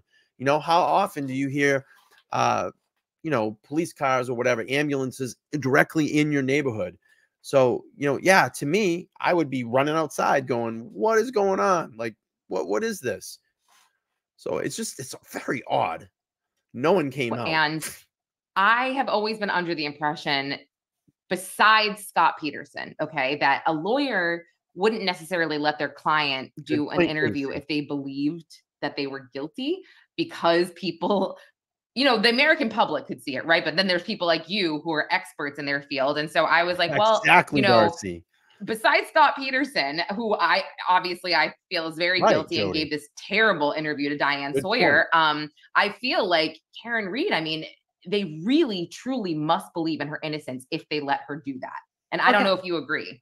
Yeah, hundred percent. And and let's Okay. let's put context. It's it's it's not just Scott Peterson, right? We had Drew Peterson. Yes, Drew yes. Peterson killed his his uh, missing wife. We still have never found her. Right. Um, his third wife, Kathleen Savio, was was brought up from the grave, and, and he was found guilty of killing her. He was Yeah. the first cop on the scene. She died in a bath, dry, dry Good bathtub. point. He couldn't do enough interviews. Like he was going out to the press and, and bringing them coffee and a bite to eat. Right? Cop. Yeah, yeah. I th- I think this is just the one that sticks out like in my head uh that was just so Right. Well, guilty listen, before the trial. But yeah. most yeah. likely i'm not a therapist most likely a narcissist right so we get these narcissistic people that will go out and do these interviews let me tell you about karen read she doesn't have law enforcement on her side Yeah. karen read she's like a blue collar kid from boston right she doesn't have the the big giant ego right she doesn't have a bunch of uh, a a bunch of law enforcement or legal people in her family that are have got her back no matter what. She doesn't have endless funds. She doesn't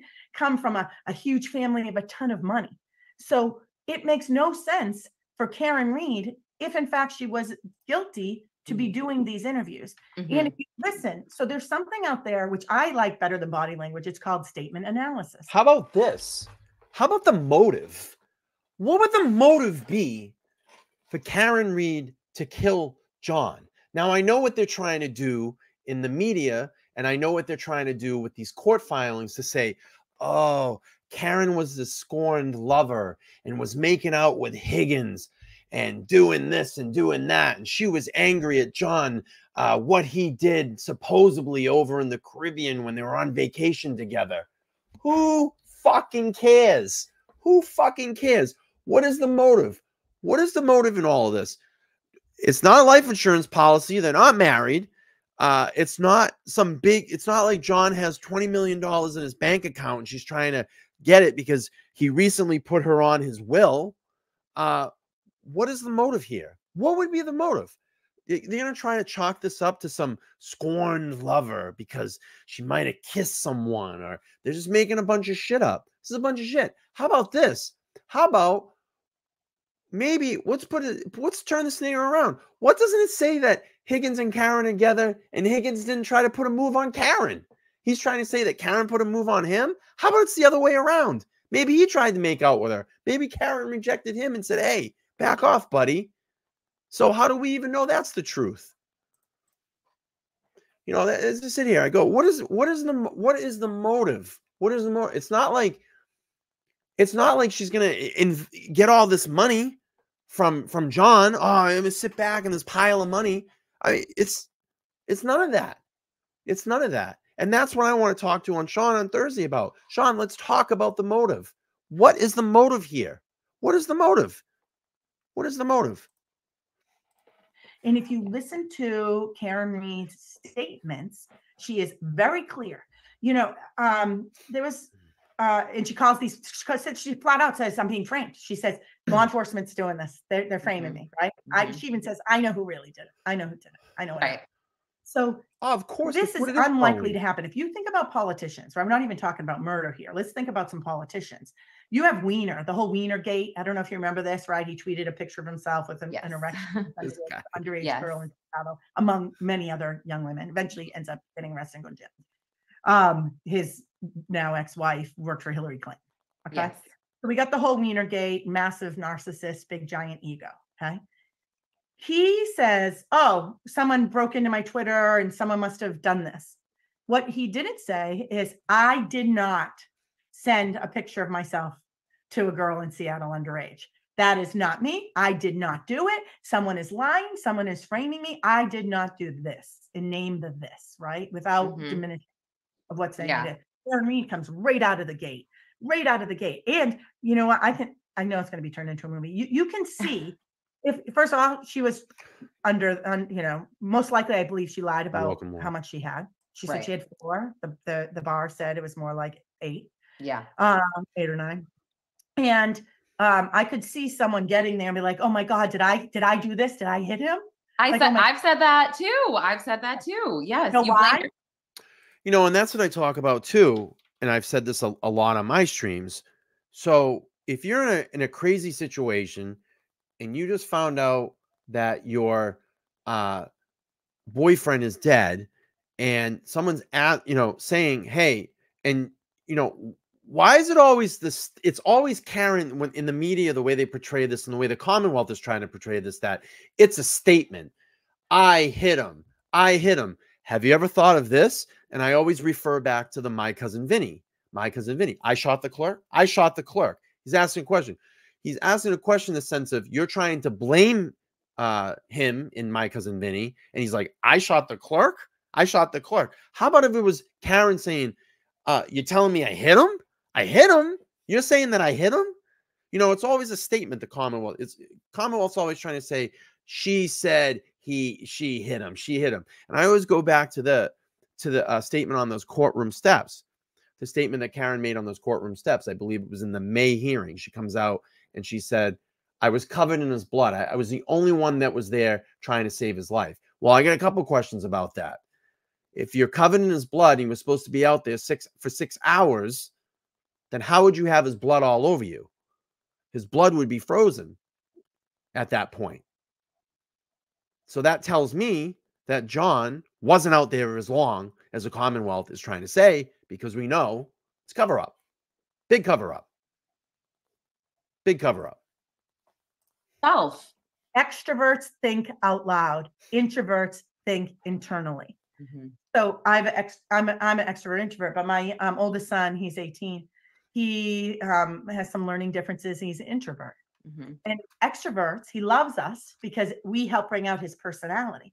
But he doesn't understand why sometimes extroverted people say things they probably shouldn't have said. And I said, because a true extrovert, his name's Angus, a true extrovert, Angus, they formulate what they're thinking while talking. And Yeah. so, Karen Read, any of the extroverts out there that are listening to this or thought about this case probably have said to themselves, Holy shit, that could have been me. I could see arriving. and be like, Yes. "Holy shit, I was drinking last night. Did I And how about this? And how about this? Let's just let's just give it the the simplest answer ever. If you're not enjoying your time with someone that you're in a relationship with, then you just break up with them. You just break up with them. That's it. do that? Did I hit him? Yes. And, and not knowing how, I think that's really important to say because how are you, how are you supposed to predict what the hell is going to come of that one statement Oh. that, listen, you probably, she probably slept for two hours. She's, the booze is wearing off, whatever.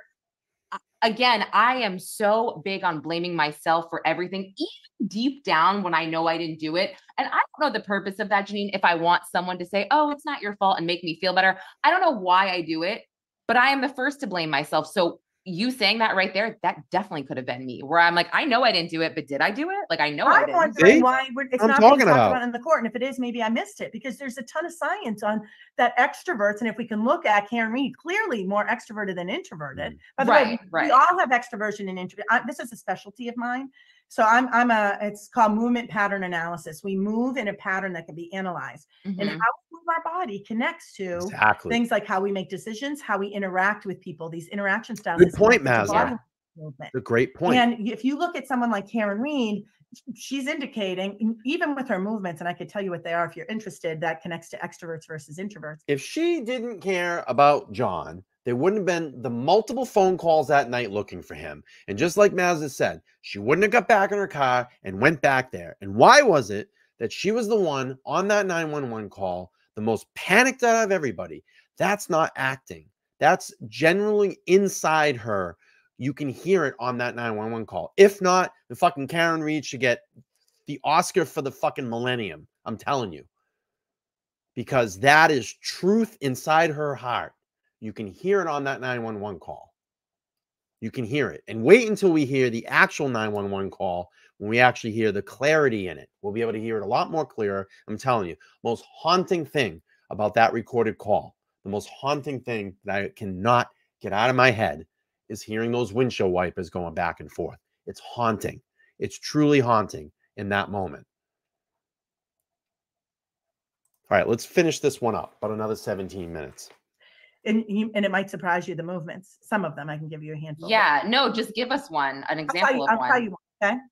So a true extrovert, okay, a true extrovert, when uh, which I'm an extrovert introvert. So I'm true super extrovert, introvert. when they lean forward, a true Yeah. extrovert, okay, when they lean forward, they will tend to more often than the other one. I'll show you the difference. An extrovert will lean forward slowly, as if I'm telling you a secret. So I might, I'm sitting here, Lauren, and I go, Hey, Lauren, let me tell you something else Yeah. is talking about. And I'm leaning forward, okay? Slowly. It's called excel it's called decelerating. So I'm leaning forward slowly, decelerating and advancing. Decelerating and advancing happening at the same exact time is Mhm. what we often see extroverts do. Now let's look at introverts. And I have a lot of them in my life. Some of my best friends are introverts. Now this might you might think if you saw this movement, you would you would probably think these are the extroverts, but it's wrong. It's backwards, okay? And an extra an introvert when they lean forward they Mhm. lean forward with speed so they accelerate in advance and i'll show you what it looks like ready lauren you and i are sitting together or you whoever's listening at home we're sitting together at a restaurant and i lean forward really quickly and i go oh guess what else happened Hmm. and when i do that what does it make Jerky. But when i lean forward fast you back up The Yeah. people Yeah. are not watching this eh, i'm telling you what lauren just did lauren just jumped back because i was like so aggressive and so Has anybody in the chat not heard the recorded 911 call? Has anybody not heard it? Let me know in the chat because I'll be happy to play it so everybody can understand and hear it. If you have not heard it, let me know. I will play it. Uh, all right, let's keep playing this though. fast. I, I accelerated and advanced. So if I'm saying, oh, guess who else I talked to? You're like, who? You back up. Yeah. So body movement is connected. It's called movement DNA. We have Yeah. movement DNA or behavioral You fingerprints, we'll call it. And it's 99% accurate. Harvard University's done studies on movement pattern analysis. The Naval War College, no one's heard of it because to get Mhm. profiled, it takes several hours. We look at your movement. We don't care what you say. This is why I'm I saying if play you it. watch Karen Read with the sound off, Get through this you can first. see her body is organically moving as she's talking and sharing, which is connected with authenticity. I went through and actually enhanced it so you can hear it a little bit better. So we'll play that version of it. Um, that's the only thing I've done to the audio is I've just enhanced it, haven't edited it, nothing like that. Um, all right, let's get through this another 15 minutes and I will play it at the end. I will play it at the end of the show. Wow. I mean, this is. This Yeah, why is no one really- talking about No. extroverts? will If play I it. was on the defense, if I was on the defense Yeah. side, I would be saying, first of all, let's bring on an expert that talks about what Karen Read said there is is very indicative of what an, an, an extrovert might say. Extroverts think Mm, out loud. Yeah. This yeah. is why we get ourselves in trouble because we say stupid stuff. Introverts process what they're going to say. They're very deliberate on what they're going to share. As a matter of fact, um, well, I don't want to go down that path, but there's a lot to do. There's not just two interaction styles. There's two more, which are one's called neutral and one's called the ambivert. The ambivert is the combination. My Okay. a couple TED talks. My next TED talk will be on interaction styles. But I, I'm telling you right now, if Karen Read is found not guilty, I will be using her movements in my TED talk to show how do extroverts behave. I Wow. will use her line where she said, "Hey, Mike, oh my God, did I do this? Did I kill? Yeah. You know, did I listen to him?" Yeah. Because extroverts think out loud, and her movements, even in the courtroom, are indicative of someone who's more extroverted. Yeah, I mean, I well, j- so I feel like when the trial actually begins, this should absolutely be brought up, and I would think Alan Jackson knows this. I mean, you right? You would think he's Yeah. A very talented and experienced uh, criminal defense attorney, so I think he would definitely bring this up. Um, but gosh, I this is so helpful. I have to tell you, Janine, like so so great helpful. podcast. I appreciate Lauren did a you great so job on much. this. Oh, Um, good, good. You know, if, yeah. if we do get to try, you know, things that we want to look for, and, I, and if you ever want me to ha- come back when we get to that, yes. talk to you. thanks for having me. And I know I talk a lot. I have ADD, so I'm all over the place, and I'm no, really it's good. I love, I love, I weigh in on a lot of these cases, and I've weighed in by the grace of God accurately, where we have, you know, some people, everyone's like, that person's guilty, that person's guilty. And I'm like, no, I believe that there was a girl named Tiffany. She went to um, Mexico on her honeymoon with her husband. She said three pirate ships came, shot her husband off the jet ski. He fell into the water, and then she like drove off. And even Yeah. people, experts in my world, are like, she's a liar. Liar, li- liars love the number three. They'll often use the number three. So Yeah, yeah. three pirate ships. Um, Right. so a couple a couple things like she's a liar well guess what the main detective in that case tiffany hartley the main detective in that case was found beheaded and his head was put on the the, the steps of the police station or his family's house that was investigating that which was the mo of the pirates and that was the day after i went on fox news and i said no one in my world in the detecting deception world believes she's innocent because she's changing her text too. And we do hear this, by the way, with Karen Read. Sometimes she's talking in current tense and sometimes she's talking in past tense, Yeah. which liars do. And so I think this does a disservice to Karen Read, and people in my world might look at her as, as lying because of this. However, some people, when they don't choose to believe it yet, right? Or if they're Mhm. Christian, they believe in an afterlife, the tenses will change because they still love them. So they'll talk in a current tense. And so that in and of itself is not enough. The reason I tell you about these cases is I've looked at people everyone's thought is guilty, and I've said, Yeah. I believe innocent. Well, bam, next day, someone's dead. I've looked at people who people everyone thought was innocent, and I'm like, I don't believe them. Uh, you know, some people thought Amber Heard was telling the truth. I got tons of hate on Amber Heard, you know, and Really? uh, uh, tons, tons. I still get it because on Wow. TikTok, all my videos went viral and the Amber Heard stuff, right? I mean, I'm I'm a big fan of like believe all women except Amber Heard. I'm just kidding. Yeah. Um, no, I'm totally kidding. Um, no, that I can see that. You want to believe women? Are you kidding me? I really want to believe women. I just I couldn't really believe her either. But this is yeah. this is what I want people to look for at home as this case co- co- continues to unveil, right? Um, number one, shoulder shrugs. The shoulder shrug is uncertainty. So if we if we see Karen Read say something and she shrugs, it doesn't mean she's a liar, but it means she's uncertain about something. If I was the interviewer, I would say, you know, what are you uncertain about? So be careful of taking one Okay. body language and thinking they're telling the lie. The other big one with Karen Read, because she's so expressive with her face Yeah. um is i would definitely focus a lot on face and and um there's so much happening in her face forehead that that mouth you know that kissy lips coming out Yep. some people some people will call that uh, like this lip compression but it's not a compression compression is this Mhm. if i'm if i make my lips disappear Yeah. and this is what i talk about if you do a slight lip compression do it for me lauren okay nice and soft though you're doing heavy Oh. hardcore just do it really for a second go like this mm-hmm. Mm-hmm. Yes, your lips disappear. So everyone at home, if you're listening, go uh huh, and make your Mhm. lips. I love your hairstyle. mhm," And the lips disappear lightly. So when they lightly pressed, we're annoyed with people. So imagine like I drop f bombs left and right, right? I can tell when I'm annoying someone because I'm I'm saying something I swear, and the person goes, uh hmm, and their lips slightly closed. Like okay, non-swearing person, got it. Listen, I am not going to talk to you. I am like so afraid right now that you're analyzing every move I make. And like that I'm thinking about you, like, how have my reactions been when you've been speaking? Because I'm really freaked out that you're going to be like, you're a fake ass bitch. No, I'm just No, kidding. I love you. You're so authentic. Look at your body's moving. You're so authentic. This is so fun. The big one is if the lips disappear big time. I like to say when we don't like what we see or hear, our lips disappear. So as we're watching Karen Read, listen to what is being said in the courtroom when her lips will disappear. So I'm just going to stop this for a second. Um, I just want to read this text. Um,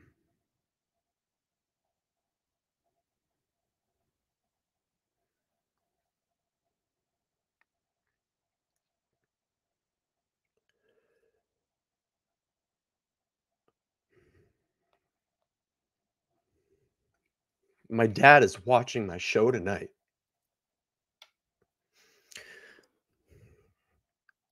And um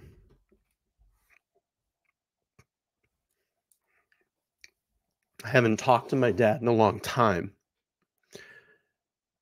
But he sent me a text and said Brian Higgins clocked in at the CP uh, Canton Police Department at 1:30 a.m. on 12922. Wouldn't he still be drunk? Why hasn't he looked into more? Lawton O'Keefe was decrystallized by Karen's warm breath until she gave mouth to mouth, and that might be how uh, nobody thought of that. Just saying. So I want to um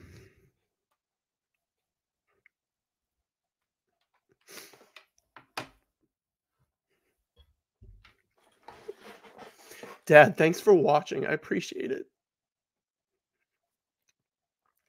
And this is what you've been missing. We've done a lot of great things here. And um we need to have a conversation soon.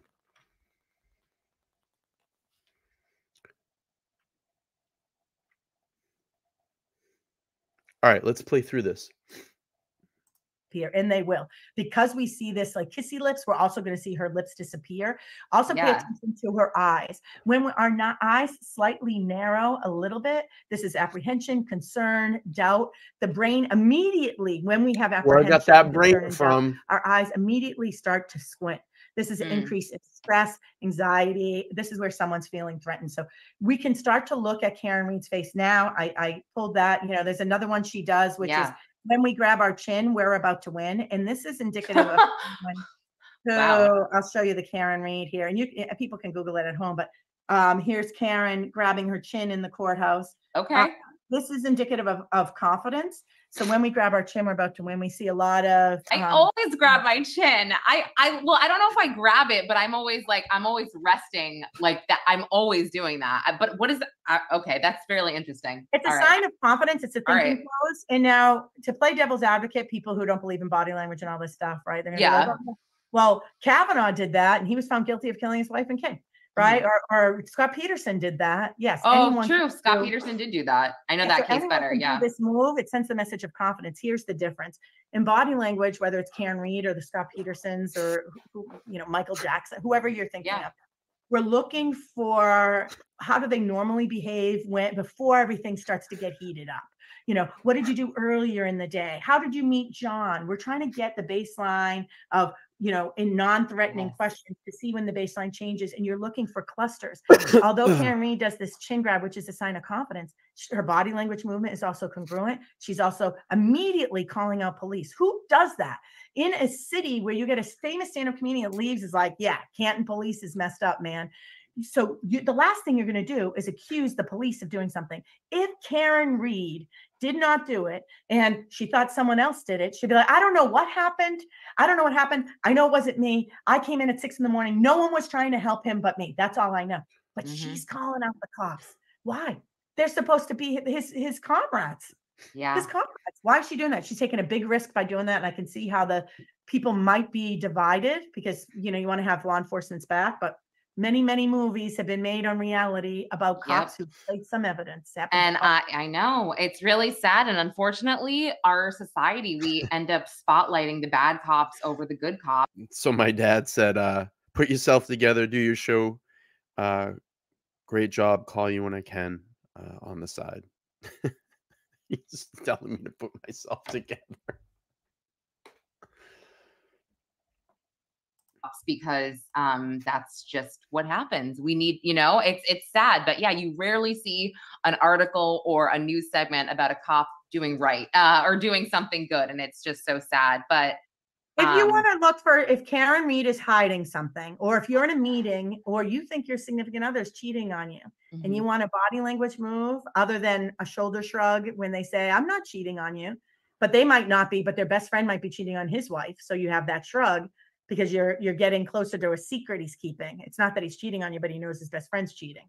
Right. So Oh. we don't know what the catalyst is. But here's a big one. You you stick your tongue inside your cheek. So push your ch- tongue inside your cheek right? Mhm. Sometimes people can do this as playfulness, like I, you know, like I caused some trouble, like, hey, what are you doing? yeah Right. Yeah. But here's what it is the tongue inside the cheek is nervous tension, and it's usually someone's hiding something or they want to get away with something.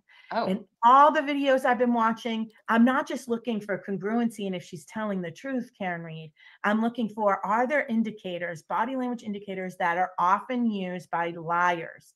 Mhm. And it's not adding up for me. I'm seeing the positive, the truthful indicators, the congruency, the integrated movements, and I'm not seeing things like a shoulder shrug out of place. I'm not seeing that Yeah. in, that tongue pushing on the inside of the the mouth where I'm trying to get away with something. I just don't see it. And Wow. again, I think that it's a sad situation. I, you know, I, my curiosity is when does federal law enforcement get involved and tear apart I'm going to tell you right now, I wouldn't put it past my dad that he knows a lot of these people because my dad is very well connected with a lot of people in and around this area.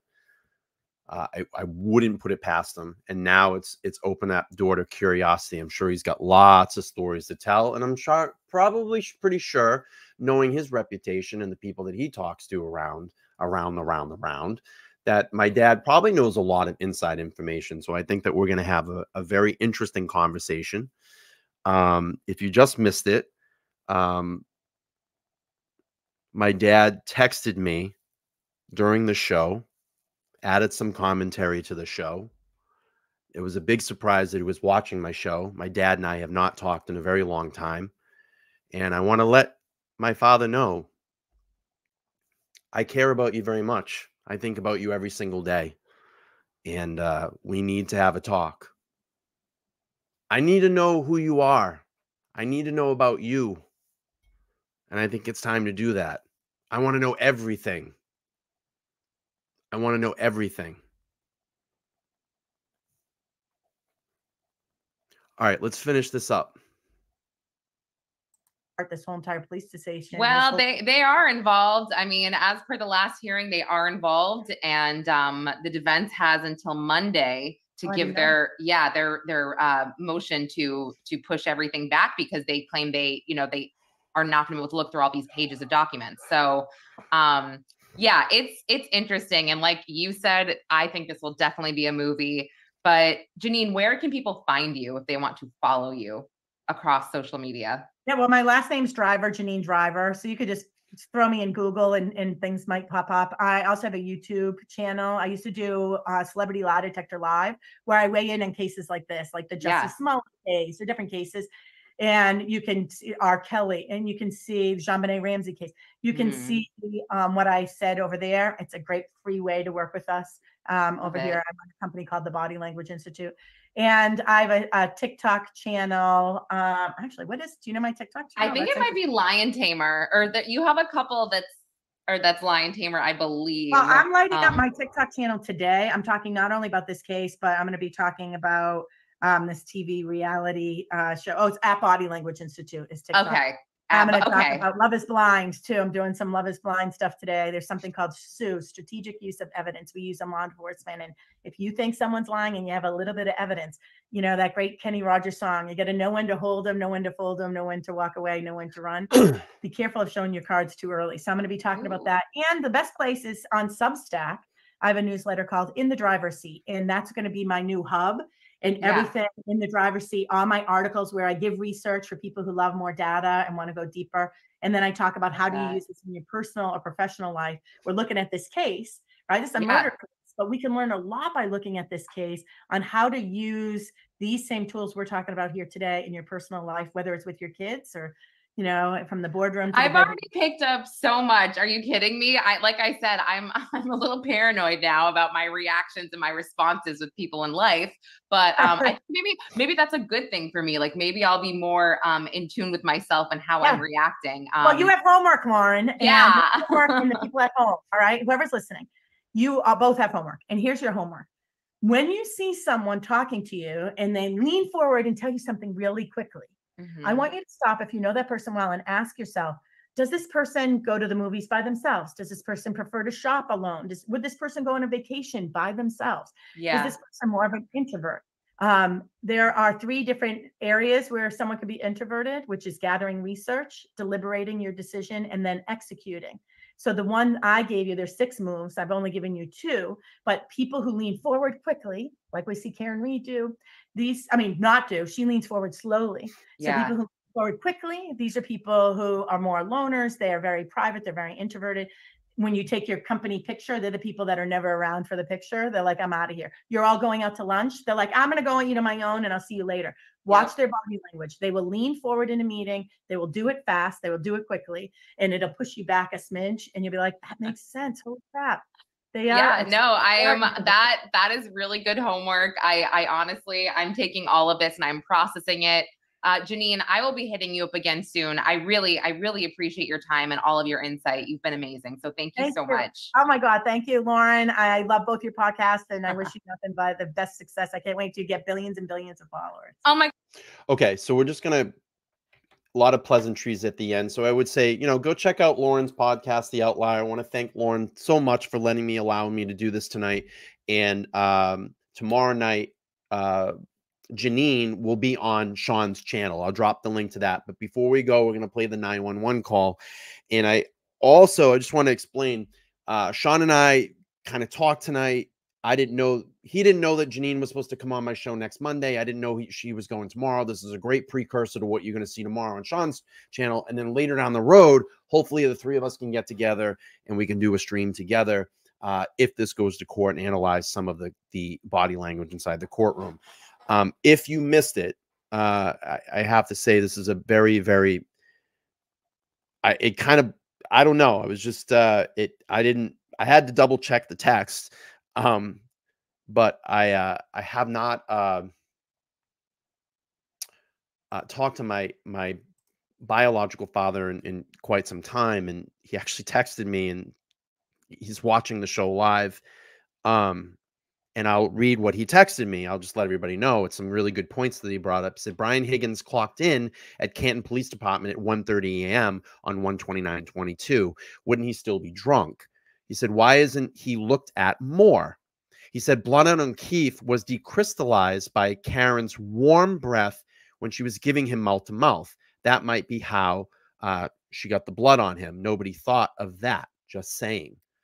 Uh, and then he told me I had the emotional moment to put myself together and continue with the show, and that we'll we'll talk. So uh, that's funny.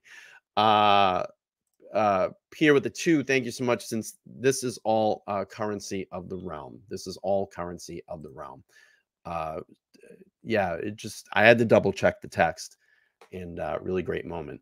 So thank you. And again i'll drop the link to uh lauren's podcast so thank you so much for doing that. Make check make sure to check out her podcast. She's many many episodes over there. She actually has one that she did with our friend jennifer coffindaffer so I think I might review that one as well, and we can play through that on one of these nights here. I think that would be really great, um, and get everybody's perspective on that. And then also, uh, let me play that 911 call for you all that haven't heard this. I do want to put a warning out there. There is uh, a trigger warning. It's a very emotional call. If it if it's too much to listen to, I don't uh, you know suggest to listen to it. But we'll play through this. It's enhanced. I have enhanced the video, uh, the sound on the video to make it a lot clearer. And then before I leave, I will drop the link for Sean's stream tomorrow, where Janice will be on there live. Please go and check that out. Tell Sean I sent everybody over. And of course, Sean from the Gulf will be on my show on Thursday, and we will fully investigate. Uh, we'll talk about Karen Read. And for all of you that don't know in the chat, uh, Sean is an ex federal DEA agent, and uh, we're going to have a lot to talk about here. Uh, all right, let's play through this and then we're going to wrap this one up.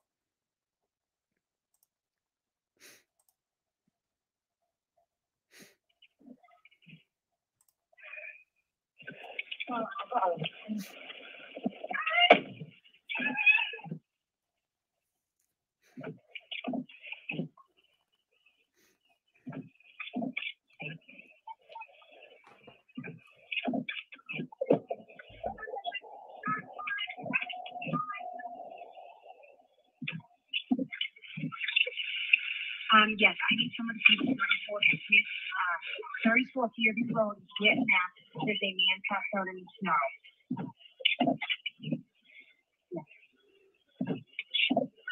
Yeah, I don't know why he did that.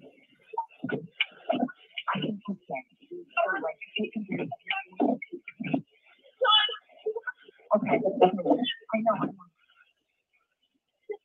Where I? I don't see blanket, Terry. Um, yes, I need some.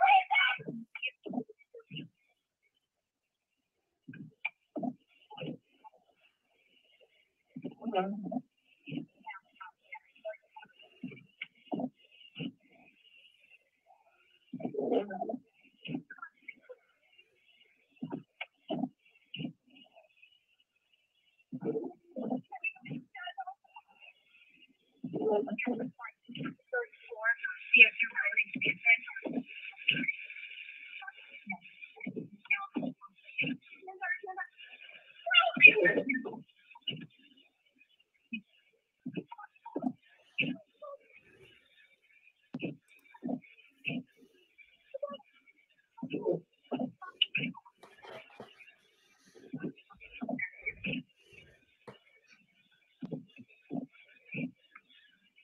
John is um, six years old.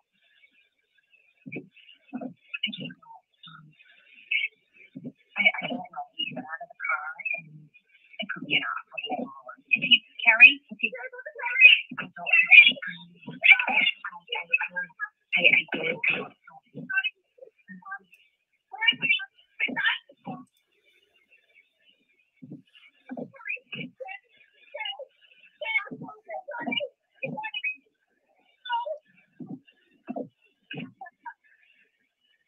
You guys are very good. You guys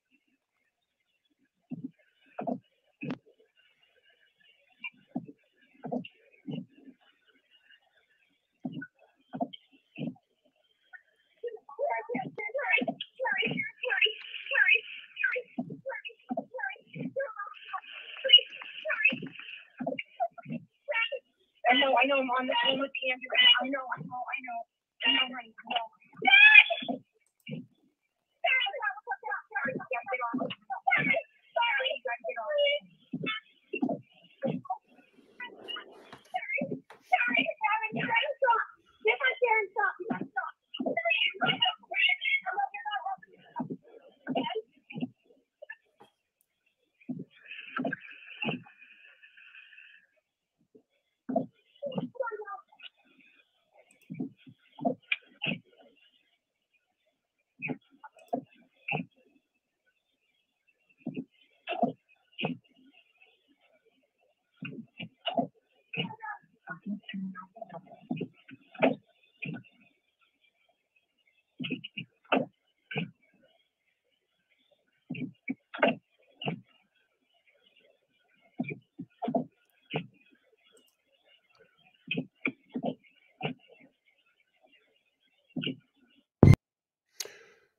So the reason you're not hearing the 911 is because that was Karen uh, calling John's phone.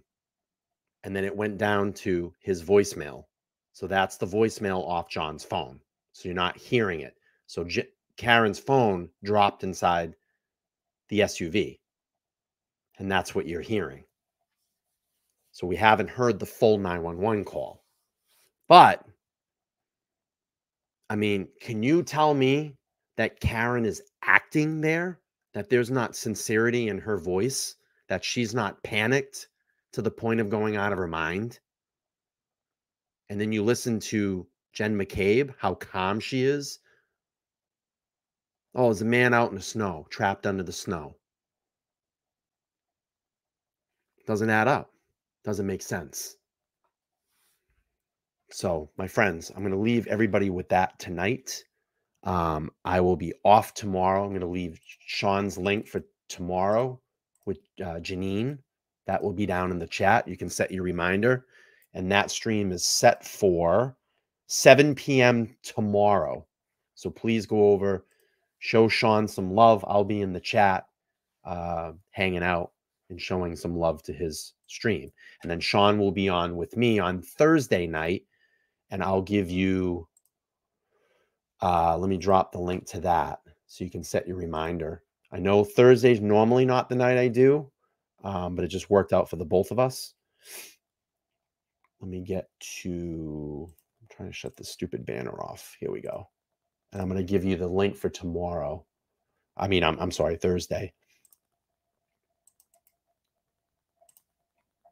Sean will be on with me on Thursday, and that link will be here. I'll drop it in the chat. So thank you again. Uh, we'll start at 7 p.m. tomorrow. Uh, I'm sorry, on Thursday. Sean will be 7 p.m. tomorrow, and uh, we'll go from there. I appreciate everybody coming uh, over here tonight and checking this out. Again, if you if you found value in the stream, uh, it's going to be a, a great precursor to Sean's show tomorrow, and I'm excited to have him on Thursday. Him and I had a good about 20 minute conversation tonight. It was really great to talk to him and uh, get his perspective. And I said, Sean, open platform. Let's hang out for like two hours. We'll go wild on this case, and uh, and I, I'd love to hear what you have to say. So all good stuff. Thank you all so much for being here. Thursday night will be at 7 p.m. Eastern Standard Time. Uh, thank you all for being here. We had a pretty emotional moment tonight. Uh, emotional moment tonight. Uh, my dad texted in. He was watching the show. Um, I'm smiling inside. It's pretty cool. And uh, he added a, a, great value to the conversation. So thanks, Dad. I appreciate that. And uh, we need to touch base soon, man. It's been uh, it's been too long. I need to know about you. I need to know who you are. I never asked you that question. I need to start asking these questions, and I want to hear about everything. We need to we need to talk. Okay, I'm gonna wrap up the stream, everybody. Thank you all so much. Uh, get some sleep, get some rest, whatever you do. I'll be back here Thursday night uh, with Sean. I'm not gonna do tomorrow night. I will not do. Um, what is tomorrow? Damn it, it's Tuesday. Uh, Wednesday night, I'm not sure if I'm going to do a show on Wednesday. Probably not because we're going to do the Thursday, but I'm trying to keep it to Monday, Wednesday, Sundays, and sprinkle in a Friday and Saturday here and there. But ah, whatever. We'll get to it. We'll get to it. I am, however, looking on Wednesday night at a uh, studio space. So I'll keep you all posted on that. Hopefully it goes well. All right. I'm out of here, everybody. Have a great night. I'm going to play the long intro, outro tonight. Bye. Thanks. Appreciate you. said it feels we're the only ones fighting for the truth of what happened to John O'Keefe. And me and my family and my attorneys and my team have marshaled every resource to get to the truth. It just feels like no one else wants it. And Karen, just to be clear, you didn't do it. We know who did it, Steve. We know. And we know who spearheaded this cover up. You all know. Yes, we do. And no, she didn't do it. No, she didn't do it. This is an innocent woman. She didn't do it. I tried to save his life. Yeah. I tried to save his life at six in the morning. I was covered in his blood. I was the only one trying to save his life. Why'd you admit to it? He didn't. She didn't admit to it. She didn't admit to anything close to that. Nothing close to that. And you should know that. That was like three or four times. No, no, she didn't. That's not true. She asked a question. It makes absolutely no sense. That is the Commonwealth grasping at straws. If it walks like a duck and talks like a duck, it's a duck. We have the eight letters. We've seen them. We've read them. We are using them. The genie cannot be put back in the bottle. Yeah, LTL true crime. We going deep in the dark. Yeah. Yeah, peeling back the layers, expose the hidden mark. Oh, yeah. From the streets to the alleys where the secrets lie. Getting into minds of the wicked, no alibi. LTL true crime unraveling the web of evil.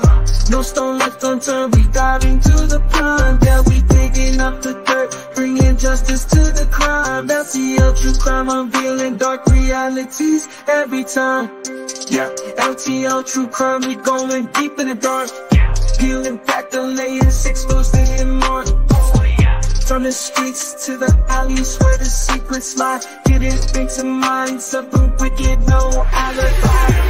It it to I see I took care of go People can live in the shine But then I'm not talking, they get so Look at the pussy, no bone No tiempo, inshallah Good now, true, inshallah We thought it never get thought it Had to look at the books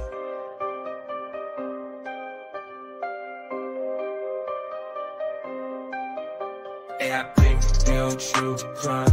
I'm done with dark realities every time.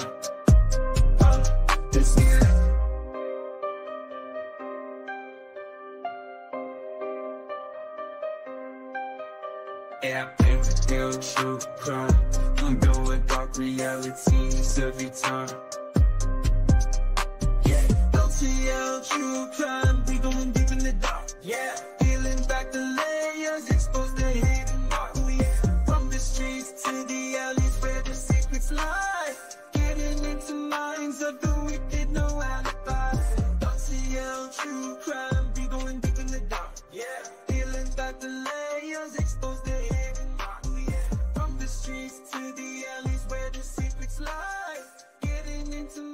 something the